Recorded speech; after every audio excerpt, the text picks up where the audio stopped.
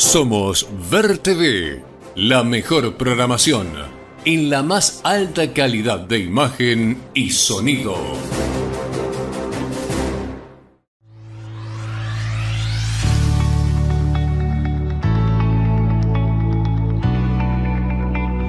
Comuna de Santi Espíritu. Sigamos cambiando. Vamos juntos. Gestión César Bainotti.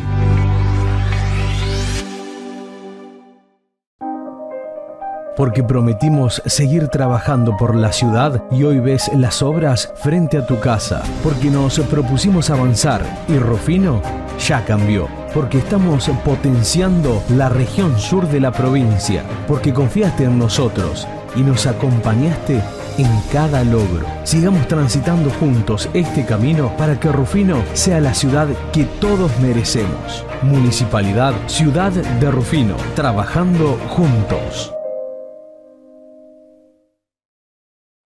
Nuestros pueblos, nuestros barrios, una invitación más a través de la larga lista de programas que ofrece, que ofrecemos los integrantes a través del canal Ver TV, como siempre desde la querida ciudad de Venado Tuerto, la Esmeralda del Sur, y desde aquí sumaremos kilómetros como en las distintas ocasiones y reencuentros lo hacemos para poder descubrir las distintas actividades, distintos aspectos de la realidad dentro de la ciudad de Venado Tuerto, pero también podemos, y los invitamos a ustedes y nos alegra esto, saber que nos acompañamos mutuamente, ir hacia algunas otras localidades, pueblos o ciudades de nuestra amplia región y a veces también nos damos el gusto de ir hacia algunas otras provincias cercanas. Pero en primer lugar, como siempre debemos hacer, agradecer a ustedes, a nuestros compañeros que hacen posible también con todo su trabajo detrás de cámara cada una de estas propuestas del VerTV y es así que vamos a compartir ya mismo el compilado, la presentación de nuestro programa para luego sí comenzar a escuchar a las voces de los protagonistas.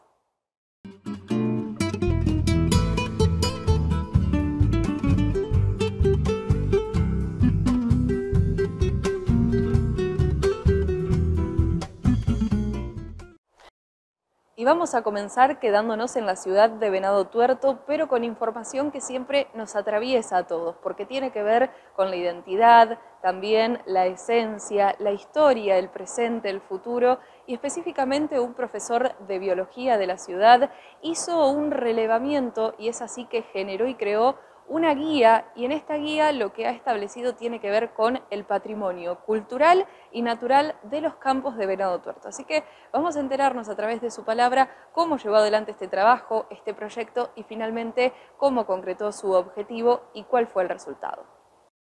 Bueno, la génesis de esto fue la pandemia. Em, me gusta viajar mucho con mi señora y en la pandemia no nos podíamos mover más allá del distrito, ¿no? de lo que llamamos los límites de Venado Tuerto, incluyendo el área rural. Así que nos dedicamos a recorrer cada camino, marcábamos en un mapa cada uno de los caminos de los campos de Venado Tuerto y marcando todo aquello que un poco rompe la aparente monotonía de, de la región llana que, en la que estamos viviendo. Algún árbol en particular que se destaca en el horizonte, alguna estructura, alguna edificación y después cosas conocidas como eh, el Club del Empalme, pero también marcamos cada una de las escuelitas que todavía están en pie y rescatando eh, también lo anecdótico o lo cultural. Hay lugares que, mm, que están dentro de ese folclore popular regional, como hablar del Camino del Turco, y no está escrito en ninguna parte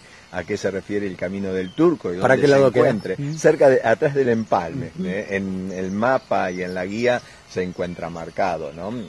como por dar un ejemplo, o la curva de Pastorino, que en ninguna parte vas a encontrar una referencia a la curva o el bajo de Pastorino, pero es un lugar conocido por todos los venadenses, pero bueno, antes, hace algunos años vos ibas por las orillas de las vías del ferrocarril, que estaba restringida respecto a la agricultura, y vos encontrabas una franja, aunque sea de 10 metros, de flora nativa, y eso ya ha desaparecido porque vas a encontrar cultivos de, soja, al igual que en los caminos rurales. Los únicos lugares donde podemos encontrar em, naturaleza en cierto grado de, entre comillas, conservación es en las lagunas y sus alrededores, que en este momento están sufriendo el embate de, de, la sequía, que se va a recuperar. Pero bueno, hay paseos interesantes en la guía, em, describo algunos que podemos hacer dentro del distrito de Venado Tuerto, pero por ejemplo uno de los circuitos es el que nos lleva a la laguna, que le dio el nombre a Venado Tuerto, que se encuentra en cercanías de Christophersen y que puede llegar a través de un paisaje de, lomadas, mm, desde María Teresa aproximadamente, aquellos que puedan acceder a la guía que está disponible en la web como Campos Venado Tuerto, eh, la pueden descargar. Pueden encontrar este circuito que lo lleva a través de lomadas. Estas lomadas son médanos de momentos en que la pampa estaba mucho más seca que actualmente y eran médanos probablemente de arena, o sea, arena descubierta que eran corridas por el viento y que llegaban hasta pocos kilómetros de, de aquí de la ciudad de Venado Tuerto.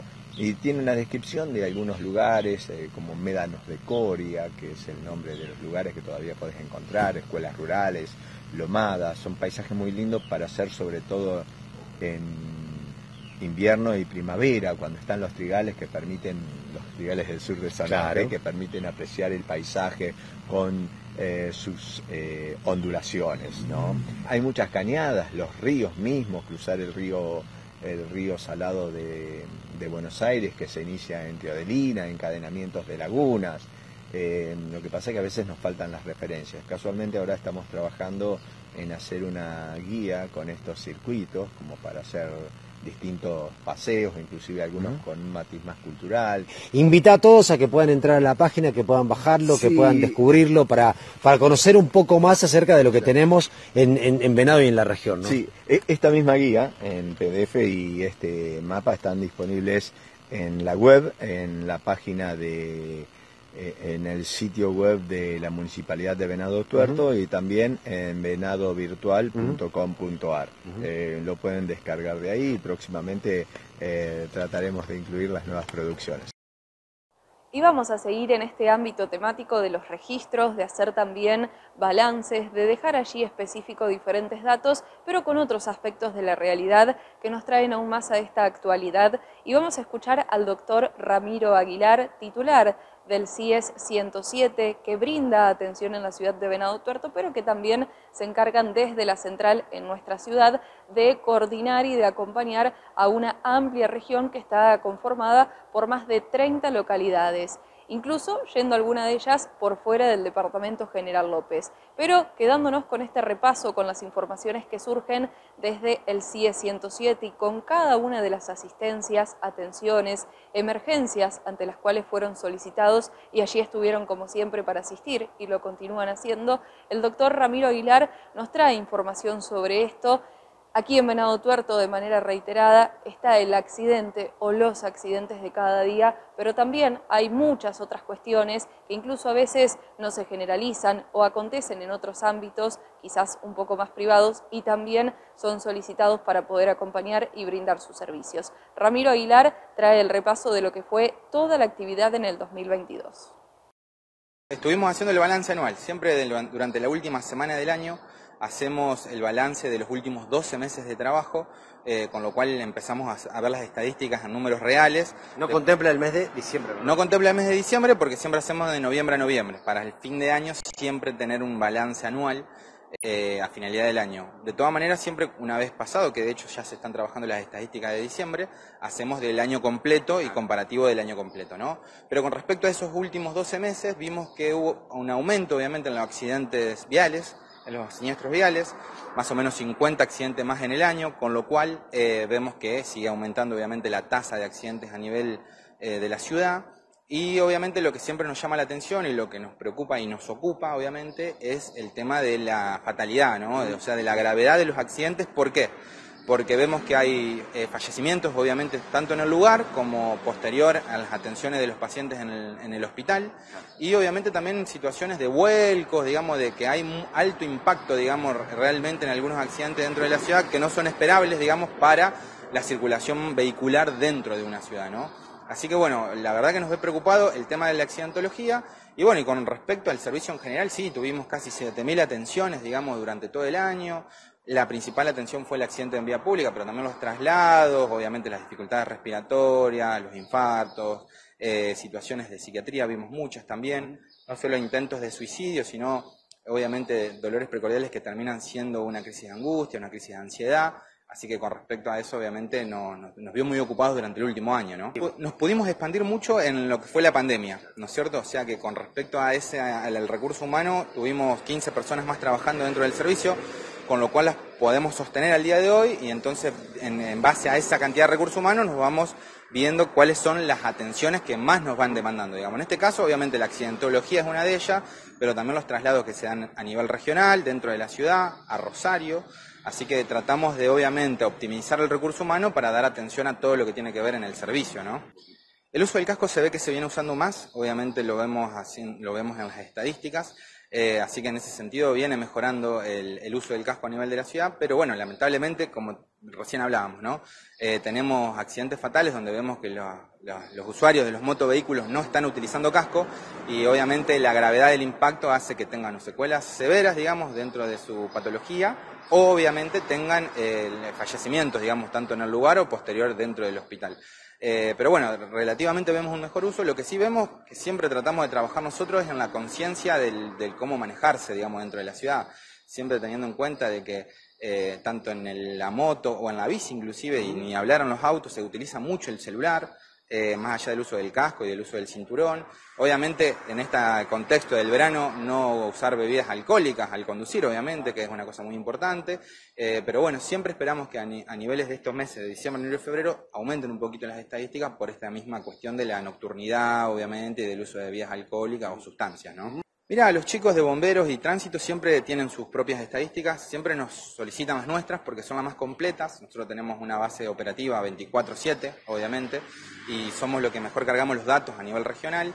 Eh, siempre hay un desfasaje, pero bueno, la verdad que ellos también hacen su trabajo, siempre trabajamos articuladamente con bomberos en casi la mayoría de las atenciones, sobre todo en los siniestros viales, tránsito, 911 también, que muchas veces participa, porque también muchos accidentes involucran a cuestiones que tienen que ver con agresiones entre los familiares, a veces obviamente hay discusiones ¿no? en los choques.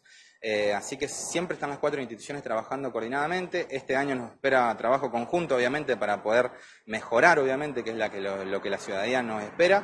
Así que ojalá que en este año 2023 tengamos mejores números, obviamente, que los fuimos dejando el año pasado. Seguiremos en el ámbito de la salud, pero también desde otros lugares, incluso hablando de las diferentes asistencias y presencias que tiene el servicio del CIE 107, también forma parte en muchísimas ocasiones de todo el traslado coordinado que se debe dar a la hora de realizar ablaciones y traslados de órganos para la final donación y también poder permitirle a muchísimos pacientes la continuidad o el mejoramiento de su vida. Y a propósito de esto vamos a quedarnos en este tema y es el médico pediatra, el doctor Pedro Bustos, actual director regional de salud, perteneciente al área del Ministerio de Salud de la provincia de Santa Fe, quien se refiere a un proyecto que se plantea a nivel de la provincia de Santa Fe y son tres efectores, precisamente el de Reconquista, también Rafaela y la ciudad de Venado Tuerto, que están allí en vistas para la posibilidad de presentarse y de postularse a un programa, a un proyecto que promueven desde Incucay en conjunto con el gobierno de la nación para que estos efectores de salud pública puedan contar con un espacio de procuración y se sume, se adhiera, se incorpore como un servicio más de estos ámbitos de salud pública, de atención, para así también disminuir los tiempos, agilizar las tareas y poder contar con el financiamiento necesario y con el recurso humano también que se demanda. En el último tiempo hemos tenido incluso noticias también por parte del doctor Armando Mario Perichón, director del CUDAIO, institución que se encarga de estas acciones a nivel provincial, que trabajan en conjunto con la entidad que a nivel nacional recae la responsabilidad, como el INCUCAI, e incluso, más allá de la ardua actividad que se realiza, varias localidades del sur de Santa Fe, cercanas a Venado Tuerto, han sido declaradas como ciudades donantes por el trabajo que vienen realizando hace muchísimos años o por campañas específicas que se han desarrollado en el último tiempo y que realmente despierta la importancia de esto y también invita a la solidaridad de la gente. Pero nos quedábamos con el tema que mencionábamos y vamos a enterarnos de estos avances, de estas propuestas en el área de salud. Yo creo que es un trabajo que viene de, mucho tiempo, ¿no? Son digamos, cuando uno habla de que eh, son decisiones políticas que trascienden eh, los gobiernos, ¿no? Se viene trabajando permanentemente en esto y yo creo que en este tiempo la ministra Sonia lo puso a Mario como pilar en esto por todo lo que sabe Mario bueno, y sigue dando sus frutos. Yo creo que a veces vos lo decías, ¿no? Porque son intervenciones muy puntuales, pero tienen que ver con la vida eh, el trabajo de todos nosotros, ¿no? El hospital es tremendo. Uno ve, eh, si bien yo siempre digo, yo voy para ver el vaso vacío. Yo vengo a decir, pasó tal cosa, cómo van a mejorar esto, eh, prevean esto, pero realmente siempre me saco el sombrero, si bien soy integrante del hospital, como eh, médico pediatra, eh, el hospital es extraordinario, eh, realmente está dando una hora que tiene la visión regional, da respuesta a todo, a todo. Así que con este tema yo creo que es para sacarse el sombrero de todos, y no solamente los cirujanos, sino de los directores que hacen la gestión, sino de todo aquel proceso, pues todo un proceso, de los que limpian, de los que desinfectan el laboratorio, hemoterapia, realmente es un trabajo que eh, a veces se ve los del quirófano o habla eh, solamente Daniel o Silvana, pero detrás de ese iceberg, digamos, abajo de ese iceberg hay un montón de gente que hace que esto sea un éxito. Eh, es importante ver esta, por ahí nosotros estamos en este momento de mudanza, de traslados, que se ven las situaciones puntuales de cada servicio, pero uno que, que ve la ciudad, que está acostumbrado eh, están en la función pública, creo que esta decisión del gobernador es muy importante, no solamente para Venado, la región, realmente este centro de justicia penal tan, eh, tan deseado y bueno, y que la decisión política del gobernador lo haga posible, realmente eh, va a ser extraordinario. Y bueno, y nosotros que ya teníamos este proyecto de ir a, la ex Ursafé, eh, bueno, estos momentos administrativos quisieron que nosotros transitoriamente tengamos que irnos a algunos lugares eh, sin alterar la funcionalidad de cada servicio y poder empezar a hacer, a construir ese traslado tan anhelado que tiene que ver con el traslado, no solamente de la región y droguería de la región, eh, sino con el 107, ¿no? Así que uno sueña que en este año vamos a empezar a poner los primeros pies en Sursafé y en forma fraccionada. Yo permanentemente estoy en contacto con los empleados de acá. Ayer hablé con la gente del 107 para decirle cómo están siendo los movimientos para poder, digamos, en forma cronológica ir yendo a, a Sursafé. Eh, esperemos que Droguería sea la primera en que se vaya, va a ir dentro del proyecto, no, no va a cualquier lugar. Dentro del proyecto original se va a conservar ese espacio donde inicialmente ellos habían ido y determinado que ahí iba a ser droguería. Así que con mucha esperanza eh, y con la gran alegría de tener el Centro de Justicia Penal, creo que nosotros vamos a poder tener un 2023 eh, brindando, ojalá, mi sueño es brindar y despedir el 2023 todos juntos en Sursaf. Y vamos a seguir recorriendo y los invitamos a ustedes para acompañarnos en este encuentro con diferentes informaciones y noticias. Y ahora a través de la ruta provincial número 14 nos vamos a ir hacia la localidad de San Gregorio, porque a lo largo y a lo ancho de la provincia de Santa Fe el gobierno provincial se encuentra construyendo alrededor de 14 instituciones educativas, jardines de infantes, también del nivel primario, diferentes escuelas que están atravesadas por una nueva orientación en infraestructura que tiene que ver con las exigencias que ha dejado la pandemia.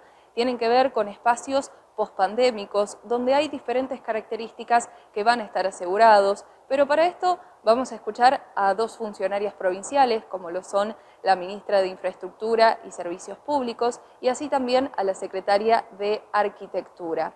Por otro lado, también el presidente comunal de la localidad de San Gregorio, quienes traen información sobre el jardín de infantes, que era solicitado por el presidente comunal anterior directamente al gobernador Omar Perotti cuando estaba en la localidad de San Gregorio inaugurando y haciendo entrega de un gran número de viviendas hace algún tiempo atrás. Finalmente la solicitud se hizo, el trabajo continuó, las gestiones también y ahora próximamente San Gregorio sería la primera localidad donde se inaugure de esta manera una institución, precisamente un jardín de infantes tan esperado y necesitado por esta localidad, por las familias, pero también por las personas que allí trabajaban y trabajan. Y es así que San Gregorio va a ser la primera localidad de toda Latinoamérica que cuente con una institución con características pospandémicas. El gobernador Omar Perotti tomó la firme decisión de fortalecer todo el esquema educativo de la provincia, de fortalecer la infraestructura y con una nueva mirada eh, que tiene que ver con un modelo de arquitectura, con materiales sustentables, con energías renovables, con ambientes saludables, productos de una circulación cruzada, enseñanzas que dejó la pandemia que tuvimos que atravesar todos. Y hoy, bueno, muchas de estas escuelas y jardines están en obras, tenemos más de 14 jardines en obras, 6 escuelas. Y bueno, y en San Gregorio sería, si todo está bien, la primera localidad donde se va a inaugurar un jardín con una, bueno, con una fuerte expectativa de su presidente comunal, de sus vecinos y vecinas, una obra que va a quedar implantada en el extremo sur de nuestra provincia con esta mirada, ¿no? de fortalecer la educación, una mirada de arraigo, de generar condiciones a lo largo y a lo ancho de la provincia para que todos puedan vivir y desarrollarse donde nacieron si es que así lo desean. Así que bueno, estamos muy expectantes y poder inaugurar en poquito tiempo este jardín de San Gregorio y a partir de allí este, todas las inauguraciones de todas estas escuelas y jardines y, por qué no, plantear en lo que resta de la gestión nuevos jardines y escuelas, que es lo que la provincia necesita. Bueno, en primer lugar, la obra del jardín ya viene en su etapa final, una obra para San Gregorio realmente impresionante. Creo que desde hace más de 40, 50 años no se hacen obras trascendentales para una localidad y más lo que significa para lo que es educación. Eh, el edificio ya lo dice por sí mismo, realmente precioso, un edificio que va a quedar para la sociedad a través de los años una, una belleza. Así que bueno, nosotros sumamente agradecidos al gobernador por haber pensado que San Gregorio necesitaba una etapa educativa de esta calidad. Después, para lo que significa para la localidad, eh, San Gregorio apuesta mucho en la educación creo que tenemos todos los niveles educativos cubiertos y creo que darle calidad a nuestra educación es importantísimo.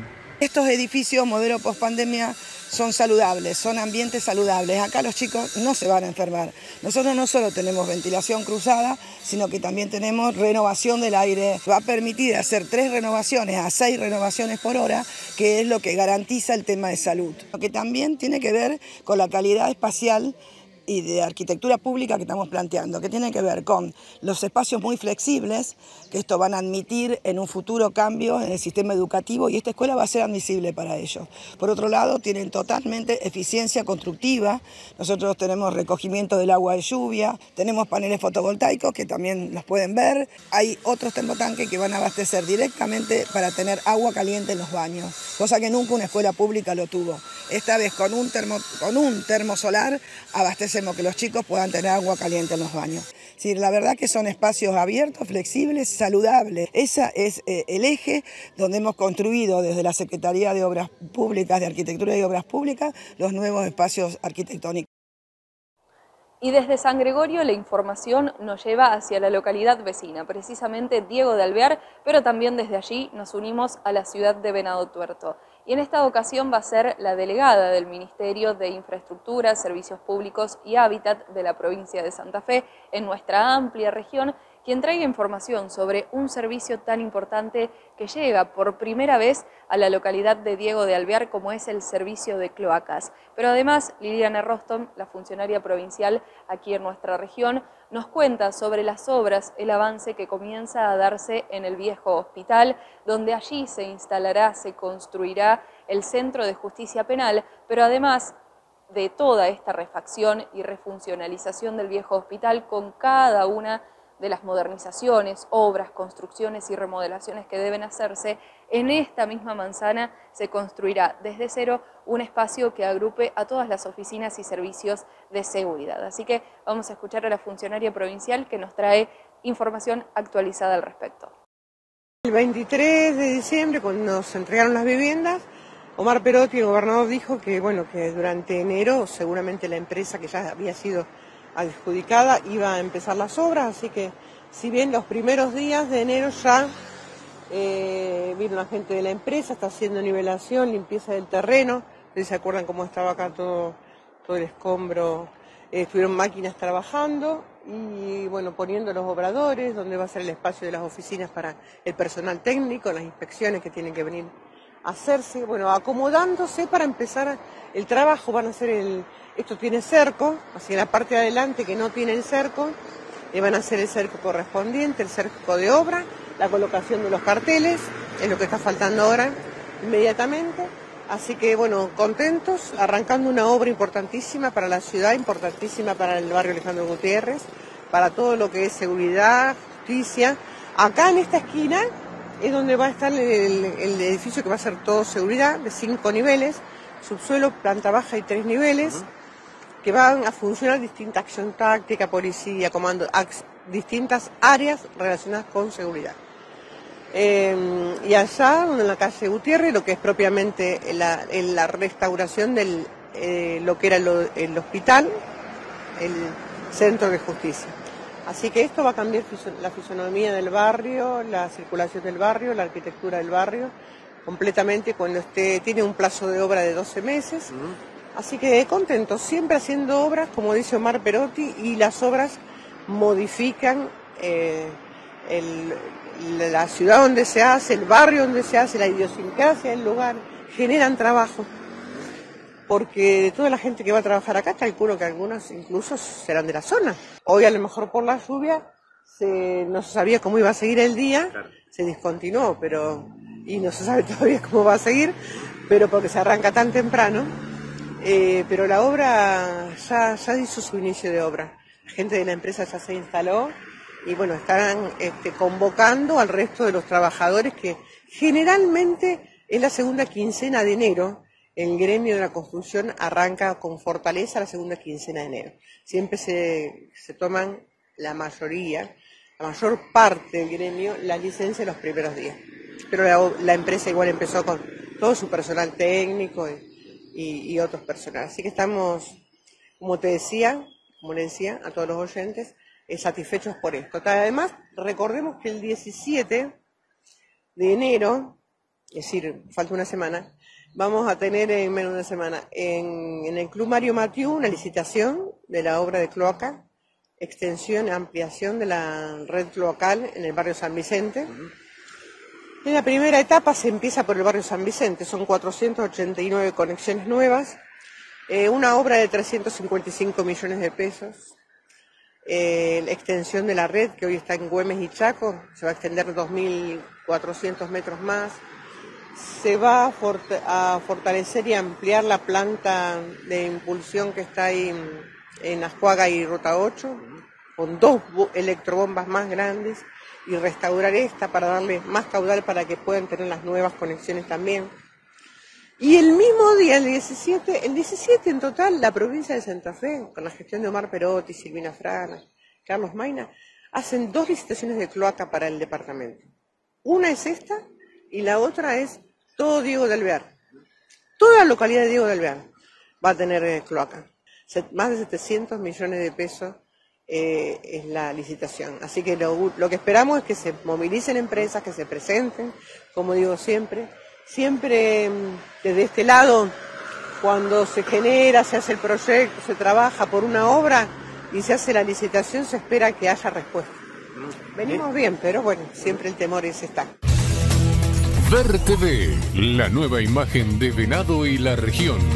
Somos regionales en Santa Fe. Venado Tuerto, señal oficial de Venado Visión. Carmen, El Hortondo, Santa Isabel, María Teresa, Wilray, Hugues, Rufino, Santi Espíritu, San Eduardo, San Gregorio, Teodelina, Diego de Alvear, en Córdoba, Arias, en Buenos Aires, Arribeños, General Arenales, Ascensión, La Angelita, Ferré, Trinidad, Iriarte, Alberdi. Ver la nueva imagen de Venado y la región.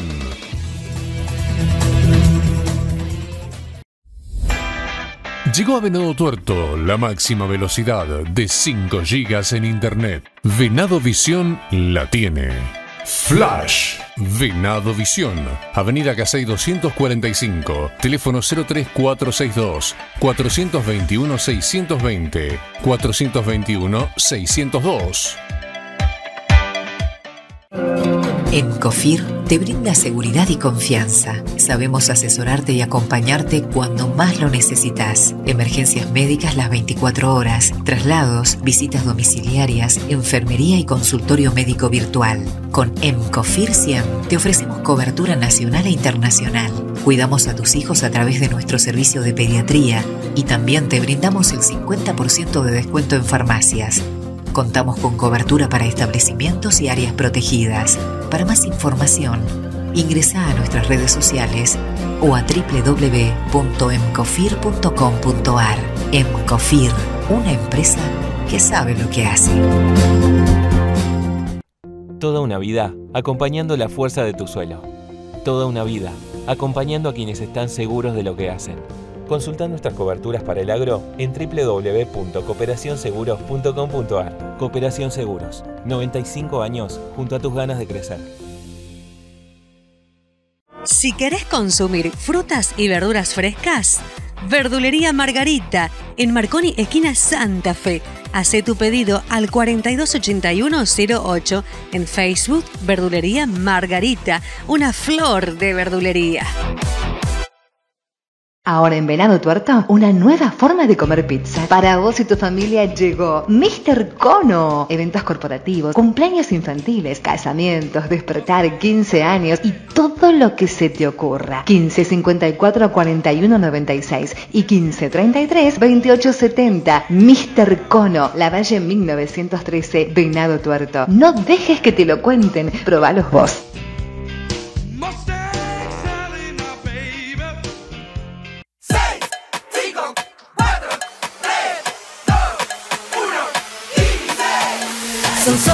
Pasitos, 15 6, 5, 4, 3, 2, 1, 15 Son solo seis pasitos. A la suerte hay que ayudarla. Con el Kini estás a seis pasos de tus sueños. ¿Qué esperás para cumplirlos? 6, 5, 4, 3, 2, 1, 15 En esta ocasión aprovechamos a compartir informaciones que tienen que ver con obras que llevan mucho esfuerzo, diferentes trámites, la burocracia, el tiempo, pero que fueron esperadas desde hace muchísimos años. El trabajo continuó por parte de los diferentes integrantes de las instituciones y finalmente llega el acompañamiento y paso a paso la concreción. Por un lado, estuvo haciendo el gobierno de Santa Fe entrega a un grupo de pelotaris, como así también al CEF número 54. Para ambos la, concreción de espera, de sueños y también destacar que para la ciudad de Venado Tuerto a través de la coordinación del CEF número 54 se podrá contar próximamente con la segunda cancha de césped sintético destinada al hockey, pero en este caso la primera para que se utilice de manera pública. En el marco del plan Incluir, ustedes saben que ha sido una propuesta del gobernador Omar Perotti de generar un programa eh, con financiamiento para aportar fondos a los municipios y comunas, pero también a las instituciones sociales, deportivas, culturales de, toda la provincia. En ese marco, en la ciudad de Venado Tuerto, hemos concretado un anhelo y un sueño de hace mucho tiempo, que es poder financiar a través del plan Incluir una cancha de hockey sintética, que va a ser, este, ya tenemos una cancha en un club privado, va a ser la primera cancha pública y la verdad que en eso reconocer la tarea de, todo el equipo de la gente del CEP 54 por lo que han trabajado, a, los grupos, al grupo de papás que se han movilizado, de papás y de mamás que se han movilizado muchísimo para poder concretar este lugar. Agradecimiento muy especial al Club Central, eh, que también eh, en un acuerdo con el CEF ha generado la posibilidad de utilizar el predio del club, y entonces la verdad que ahí hay una optimización de aprovechar los, esfuerzos, así que bueno, por un monto cercano a los 20 millones de pesos, 19 eh, millones y algo, se va a estar concretando este proyecto. Y con Federico y un grupo de gente ha rescatado, digamos, una cancha de paleta en, la localidad de San Francisco y junto con la comuna ahí y, y un grupo de vecinos que se han movilizado y se han preocupado, se ha generado esta posibilidad también de gestionar fondos para poder este, poner a punto la cancha de paleta de, la localidad de Santi Espíritu. Así que, bueno, celebramos la decisión del gobernador de poder avanzar con este programa. Ya hay varios clubes en la ciudad y en la región que lo tienen. Recordemos que eh, además se suma, por ejemplo, en, en, la ciudad de Venado Tuerto ya tenemos 60 millones de pesos aportados para la repavimentación de la avenida de Perón para el municipio. Así que bueno, son aportes que llegan a las instituciones, pero que también significan actividad económica, empleo, no solo el fortalecimiento de una institución o de una, de una comunidad. A partir de esto, se le, como el resto de los clubes, se le aporta el 60% del monto este, y, con eso, digamos, ya se empieza la obra, se rinde, se certifica y se, se, aporta, digamos, el resto del monto. Eh, para Santi Espíritu son cerca de 5 millones de pesos, 4 millones 300. A 20 años, el cual nos va a permitir compartir con, el, con los socios del club y con, y con los alumnos del CEP 54, que es una escuela provincial y que es importante resaltarlo porque no teníamos cancha propia y siempre teníamos que estar jugando en canchas prestadas o alquiladas. Esto nos va a hacer tener un lugar propio y lo compartiríamos con los socios del Club Central Argentino y la comunidad. esa sería la, propuesta eh, de lo que ya se ha hablado. Se va a hacer una cancha de hockey de césped sintético con base de arena eh, y bueno, resta ver el tema de vestuarios y este presupuesto estaba desde el principio del año 2022, con lo cual con la inflación seguramente vamos a tener que pedir una ampliación del plan incluir y bueno, eso será el futuro. 1.300 este, personas son las que hoy participan del Centro de Educación Física, me aportaba el dato Viviana hoy, más de 300 chicas participando de hockey, chicas y chicos, y así que es muy necesario. Se planteaba en su momento la necesidad no solo de tener un espacio propio, va a tener una cancha de césped natural y la cancha de césped sintético, lo que significa para en, la igualdad de posibilidades a la hora de competir después este, poder tener la cancha propia y jugar este, en las mismas condiciones todos. Así. Me agregaba Sergio como muy buen dato que se suma este, con un aporte que hizo Desarrollo Social también a través del programa Incluir a la localidad de Firmat, este, el club eh, Firmat Fútbol Club, 10 eh, millones de pesos también para otra cancha de hockey. Así que bueno, seguimos sumando infraestructura deportiva del gobierno de la provincia en todo el territorio. Giramos la página y nos encontramos también con la actividad económica productiva desde algunos otros ámbitos y precisamente lo que refiere al frigorífico de la ciudad de Venado Tuerto tras su nombre SWIFT. Vamos a escuchar al titular del Sindicato de la Carne quien se refiere a esta importante empresa y desde hace algunos días se encuentran a la espera tras algunas postergaciones en los días, pero finalmente va a retomar la actividad con los cortes kosher, así que vamos a enterarnos sobre la actividad de este ámbito productivo en la ciudad de Venado Tuerto, que involucra a trabajadores venadenses, pero también le brinda trabajo a muchos integrantes y habitantes de toda la región. Eh, nosotros, de primera mano, la empresa nos había comunicado de que la intención de la reapertura con el comienzo de la actividad kosher iba a ser el 9 de enero. Luego hubo unos cambios operativos para la empresa y lo pasaron ahora para el 16 de enero. Así que eso lo tenemos, la, digamos, la versión oficial de la empresa. Así que estamos a la expectativa, ojalá eh, arranque para no parar la actividad. Obviamente esta actividad se generaría con aproximadamente 300, 350 animales por día. Eh, de por sí ya la empresa tiene un plantel fijo de 300 trabajadores aproximadamente, pero cada vez que viene el coller se toma gente. Y aproximadamente entre 70 y 100 personas más en base, eso va dependiendo, depende a la actividad que, tenga la empresa, ¿no? Cuando más faena eh, tenga, más posibilidad hay de mano de obra. Esa, eh, eh, digamos, esa es la realidad o la ecuación que se genera cada vez que aparece el collo, ¿no? que trae bastante mano de obra. Eh, la mayoría pasa que se le rescinde el contrato, o sea, son contratos eh, a prueba o por ahí contratos a plazo fijo, depende dónde, dónde le toque estar, ¿no? Eh, entonces la mayoría se les rescinde el contrato y una vez que se genera de vuelta la actividad, em, eh, los vuelven a llamar. Algunos vuelven, otros no, porque han encontrado otro trabajo. Y también este, se, se, va generando de a poquito, lentamente, em, mano de obra em, calificada. Calificada, pero de la casa, por así decirlo. No por contrato, sino de la casa. De a poquito van quedando, van quedando para la casa. ¿no? La realidad es que eh, lamentablemente Venado Tuerto no puede hacer pie. La realidad que lamentablemente es cuestiones de mercado, cuestiones de que no, hay un negocio obviamente para la empresa. Han habido innumerables eh, inspecciones eh, para muchos países. Todas salieron bien, según la empresa, pero bueno, no se ponen de acuerdo en lo comercial y lamentablemente no genera más actividad o no genera más carga horaria o más producción que genere más carga horaria y un poder adquisitivo mucho mayor para el trabajador. La particularidad de Venado se da así porque la realidad es que este frigorífico eh, se armó en su momento, eh, ya desde la época de CEPA, eh, para los judíos, o sea, está armado para ellos, la comodidad, ¿no? Obviamente. pero bueno, cuesta, cuesta también hoy que se genere eso, que se genere, que vengan otros mercados como China, como México, como Chile, eh, otros mercados. Eh, entonces la realidad de Venado Tuerto es que hoy eh, dependemos del kosher, ¿no? porque en Galvez no, no, no, le, no le rinde hacerlo. Entonces esa es nuestra ventaja.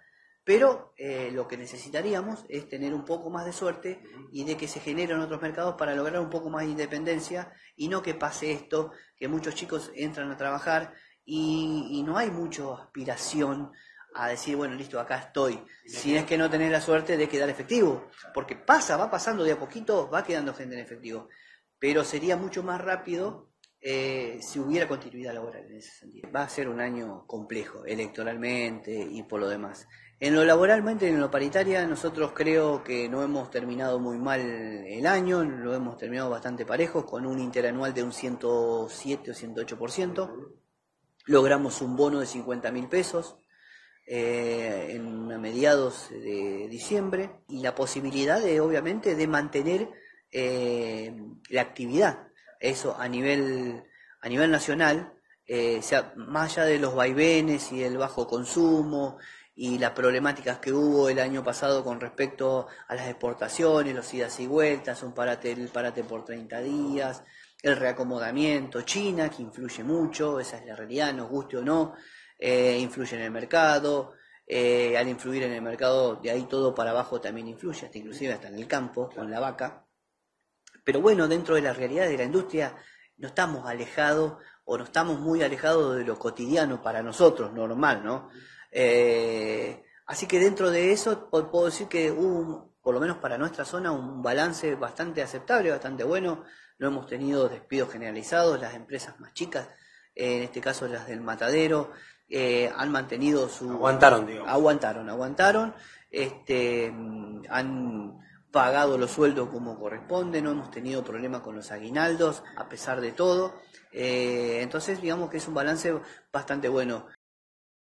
Y vamos hacia otros aspectos, a otros temas que forman parte también de la realidad y nos encontramos con una institución como Caritas, que se encuentra presente incluso en muchísimos pueblos y ciudades de toda la región y en este caso vamos a repasar actividades, proyectos que tienen desde la ciudad de Venado Tuerto y vamos a escuchar al padre Martín Cabrera. Desde las diferentes actividades que realizan, con muchas propuestas de contención, de acompañamiento, de intervención en la sociedad desde diferentes miradas y atendiendo en muchos casos diferentes necesidades. Allí está Cáritas, pero en esta oportunidad puntualmente tiene que ver con la mirada puesta en los más pequeños, en las situaciones de violencia, de abuso, y el objetivo está en brindar cursos de capacitación para los más jóvenes, a través incluso de profesionales, con un abordaje desde la psicología y de esta manera poder trabajar la advertencia, la prevención, entre tantos otros aspectos que son importantes para poder percibir, acompañar, lograr la charla, el diálogo y el acompañamiento que sea necesario. Un, resumen de lo que fue el trabajo, qué conclusiones pudieron sacar, si pudieron avanzar en algo eh, y, en este contexto tan difícil que pueden vivir varias familias, eh, cómo van a abordar este año y cómo van a estar trabajando eh, este año con, con varios proyectos que sé que tienen en carpeta. Buen día.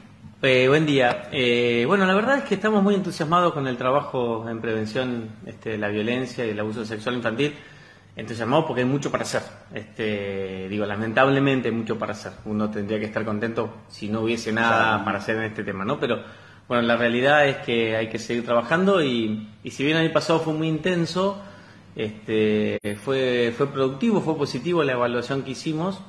Y en función de eso, este año mm, proyectamos hacer este, una nueva formación, una nueva capacitación para la comunidad, este, que va a consistir eh, en una formación para una especie de escuela de niñeras, este, abierto a chicos y chicas que, aunque no hayan terminado la secundaria, que, que quieran recibir una formación en el cuidado de los niños porque nos parece muy importante que las personas que cuidan niños que no son de la familia, aunque también los de la familia, ¿no? Deberían tener eh, herramientas básicas de, no sé, por ejemplo, eh, si un niño tiene fiebre, saber hacerlo, poder controlarlo, este, qué hacer cuando un niño se ahoga con algo, este, bueno, hacerle RCP, eh, pero tener incluso formación mínima de cuestiones psicológicas evolutivas de las edades del niño. O sea, no es lo mismo un niño bebé que un niño de dos años, que uno de tres, que uno de siete, ¿no? Tienen distintas eh, posibilidades. Entonces, eh, poder interactuar con,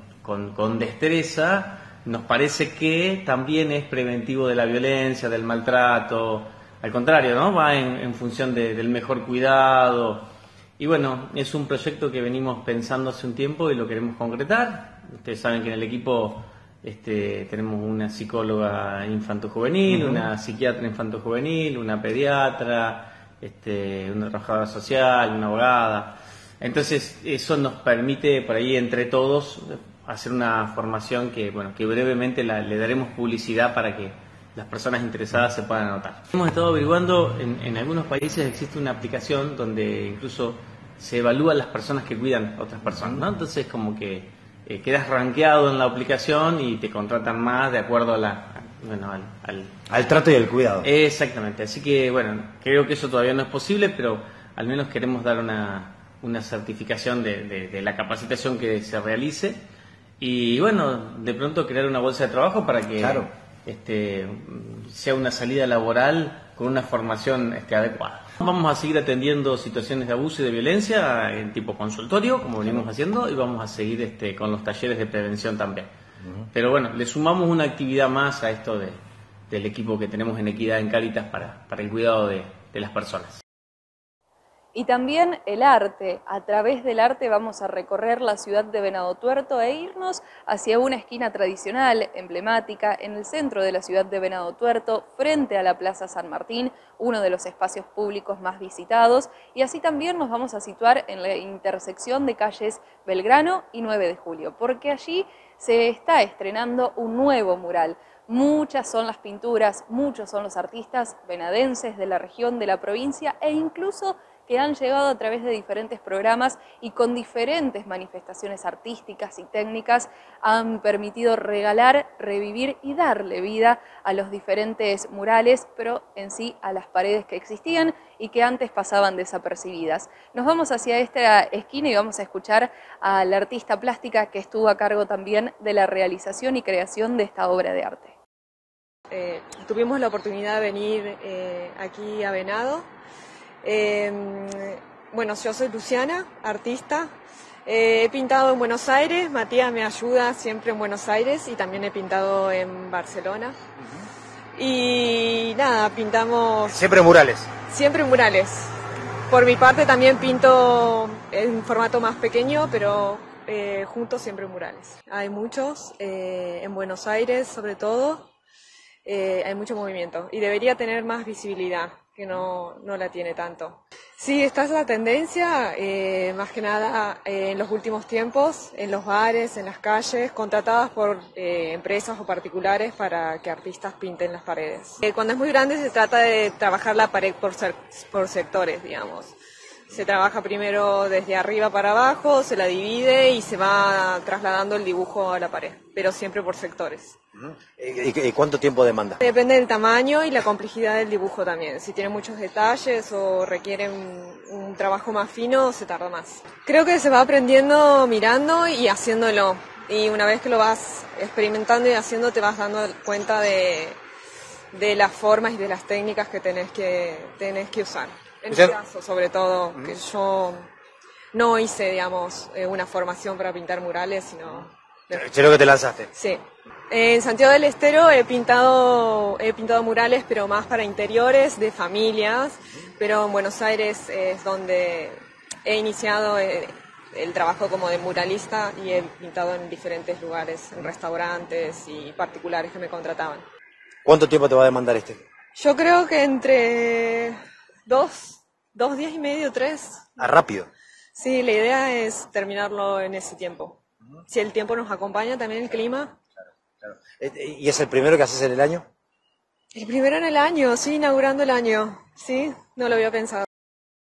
Y por último vamos a encontrarnos con más información desde el ámbito de la educación, porque si bien el ciclo lectivo está en un receso, las vacaciones como siempre suceden, hay diferentes programas impulsados a través del Estado provincial, como por ejemplo el proyecto Verano Activo que se pone en funcionamiento en las diferentes localidades, pueblos y ciudades de toda la provincia de Santa Fe. Aquí en nuestra región también algunas comunas, municipios han adherido y esto se impulsa, se coordina, se lleva adelante a través de los estados locales en conjunto con los clubes o instituciones deportivas que quieran acompañar, pero también a través de las instituciones educativas, desde el nivel de los jardines de infantes, también el nivel primario y algunos niveles de la escuela secundaria. El objetivo es brindar un espacio, un acompañamiento para aquellos alumnos que hayan tenido alguna interrupción, alguna dificultad en su cursada y de esta manera poder generar este vínculo y entusiasmar, acompañar, preparar para este nuevo ciclo lectivo que comenzará en los próximos meses del 2023. Verano activo, la información lo traen los funcionarios provinciales. El verano activo siempre ocupa el mes de enero y este tiene ese objetivo de darle continuidad al servicio educativo con dispositivos diferentes. Hemos visitado varios veranos activos en, en el territorio provincial, lugares como por ejemplo el de ayer en Roldán con 800 chicos y tiene la modalidad de incluir niños desde el nivel inicial la escuela primaria y en algunos lugares también alumnos de escuela secundaria que antes no participaban de las colonias tradicionales. En este caso aquí estamos celebrando la iniciativa del equipo directivo de esta sede de primaria y de inicial de darles esta oportunidad de vacacionar en la escuela a los chicos que de otra manera no podrían tener acceso a ese disfrute. Y por eso estamos muy contentos de poder asistirlos con los profesores que se necesitan en este tiempo, con los materiales y los proyectos para que sea realidad este desafío que asumieron las directoras de la escuela primaria y del nivel inicial. Bueno, la línea de acción verano activo, eh, como lo decía recién la ministra, es una acción que la venimos haciendo en 259 localidades de la provincia de Santa Fe, más de 1.300 profesores que están abocados a jugar, reír, divertir, compartir eh, con casi 41.000 chicos en estas 259 localidades. Y la verdad que en aquel momento, cuando se inició la gestión también de nuestro gobernador, donde decíamos que todos los chicos y las chicas en la escuela aprendiendo, esta es una de las tantas formas que también se tiene de aprender, porque se contiene a los chicos durante el tiempo de vacaciones, donde ustedes, bueno, a través de las imágenes están viendo el divertimento y el compartir con el otro. Así que estamos muy contentos. Y como siempre decimos, ponemos un punto final por esta jornada porque deseamos, y así será, reencontrarlos la próxima semana para seguir sumando más kilómetros, más voces a nuestros pueblos, nuestros barrios. El agradecimiento, como siempre, a ustedes por acompañarnos en cada una de las propuestas del VerTV. Mi nombre es Renata Los Rodríguez, desde la ciudad de Venado Tuerto, y gracias también a nuestros compañeros. Que tengan un gran fin de semana, que lo disfruten, lo pasen de la mejor manera, y por supuesto, cada una de las propuestas del canal siguen ahí para ustedes. Que estén muy bien.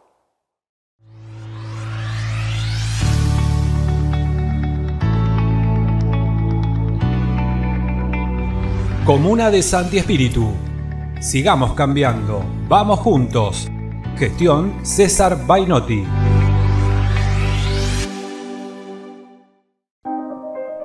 porque prometimos seguir trabajando por la ciudad y hoy ves las obras frente a tu casa, porque nos propusimos avanzar y Rufino ya cambió, porque estamos potenciando la región sur de la provincia, porque confiaste en nosotros y nos acompañaste en cada logro. Sigamos transitando juntos este camino para que Rufino sea la ciudad que todos merecemos. Municipalidad Ciudad de Rufino, trabajando juntos.